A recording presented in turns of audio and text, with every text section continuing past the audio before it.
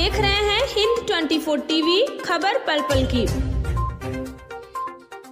भारतीय मानव सेवा संगठन द्वारा जूट बैग को बढ़ावा देने हेतु कैट वॉक व जन जागरूकता कार्यक्रम का आयोजन 27 दिसंबर को किया गया।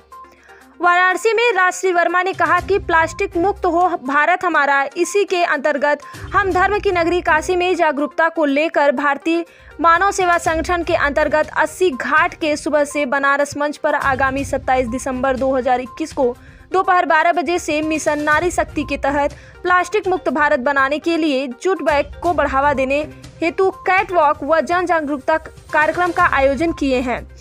इस कार्यक्रम में वहाँ उपस्थित गणमान्य लोगों ने काशी कोहिनूर गौरव सम्मान से संबोधित, सम्मानित किया गया उनको।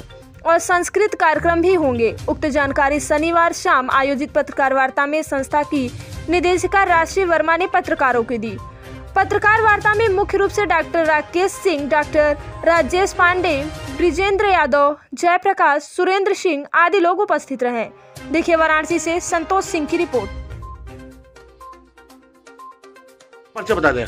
नमस्कार मैं राशि वर्मा भारतीय मानव सभा संगठन की चेयरमैन हूँ। मैम आज किस तरह का पत्रकार वार्ता की क्या उद्देश्य है? आगामी 27 दिसंबर को 80 घाट पे सुबह बनारस के मंच पे प्लास्टिक मुक्त भारत बनाने के लिए हम लोग एक कार्यक्रम आयोजन कर रहे हैं जिसमें हम चाहते हैं ज़्यादा से ज़्यादा लोग जूट के बैग को इस्तेमाल करें प्लास्टिक को बंद करें और इसके लिए हम लोग एक कार्यक्रम सांस्कृतिक कार्यक्रम भी है। इसमें महिलाएँ कैटवर्क करेगी जूट को बैग को लेके पुरुष भी करेंगे। और हमारी जो लोग गणमान लोग हैं, उनको हम लोग काशी कहनूर से सम्मानित किया जाएगा। और मैं चाहती हूँ बनारस वासी और सभी लोग इस कार्यक्रम में ज़्यादा से ज़्यादा आकर इस कार्यक्रम को सफल बनाए। और हमारी पूरी कमेटी टीम को भी मैं धन्यवाद करती हूँ। और आप लोग भी आज आए इसीलिए मैं बुलाई हूँ आप लोग को मैम कितने बजे से कार्यक्रम शुरुआत होगी? इस कार्यक्रम हम लोग रखे हुए हैं 12 बजे से और शाम की पाँच बजे तक। नमस्कार मैं राशि वर्मा भारतीय मानव सेवा संगठन की चेयरमैन।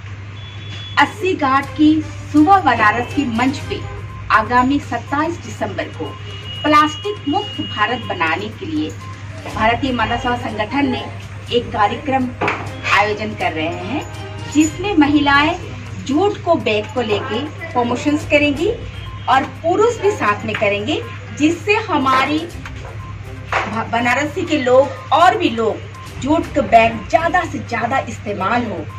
उसके लिए हम लोग एक कार्य कर रहे हैं और हमारी इस कार्यक्रम में जो मेन मेन अतिथि हैं, उन लोगों को हम लोग काशी कहिनूर गौरव सम्मान से सम्मानित किया जाएगा।